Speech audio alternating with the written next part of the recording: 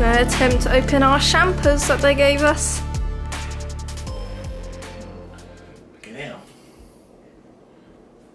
Oh, don't aim at me. It's probably going to be very anticlimactic, Dan. Seems like on all of our um, holiday videos, you're trying to open a bottle of champagne. That's gonna. Well, I don't see this going too well. Yeah, maybe not.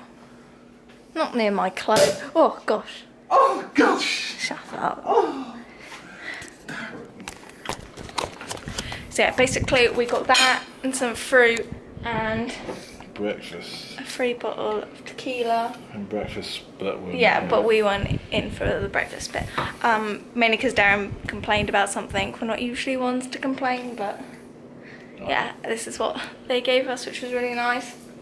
So yeah, we've just been literally at the beach all day, so I haven't really vlogged a lot. Um, I did have a very special interaction with a raccoon, um, and I will insert the little videos and clips of that now and I got a selfie with it so highlight of the year maybe you know except for getting engaged and, and having me yeah and having Darren um but yes that was pretty cool. And then we just stayed on the beach to watch the sun go down um, which was really nice as well and so we're just gonna take it easy get ready for dinner it's a pirate theme at the main buffet tonight which we missed last week because we were at Playa del Carmen so it'll be interesting to see what they do for that.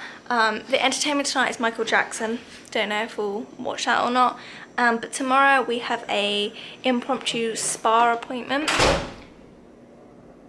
Um, Darren's just gone to tell our concierge something. Um, yeah, we've got an impromptu spa treatment. The lady came around when we were on the beach today and Darren's back's really been hurting so I think that sort of tipped him over the edge to want to get a massage. Um, so for like three hours we get to use all the spa facilities which it does look pretty amazing. And then we both get a couples massage and it works out at about 50 pound per person which really isn't that bad. Um, and you can have lunch there and apparently you can watch the dolphins. So yeah I don't know how much of it I'll be able to film but obviously I'll take my camera with me anyway and if I can film bits I will. Um, so yeah, um, we were going to go to the Thai restaurant tomorrow, but that's what Darren's cancelling now because you have to do it like a day in advance. Just because I don't think we're going to really want to do that after our, massage. Like we've got to be ready at 11 tomorrow and then about three hours. So we'll probably just want to go to the buffet tomorrow night um, rather than having to rush and get ready. Um, so yeah, been a very relaxing, really pleasant day. Um, I've finished all the books that I brought with me, which was like seven, including the one I bought at the airport. Um, so originally I was only going to bring six.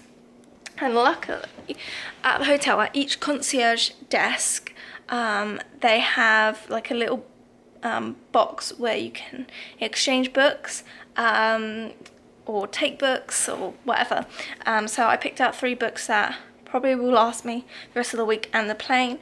Um, the one I'm reading at the moment is Killer Diamonds by Rebecca Chance.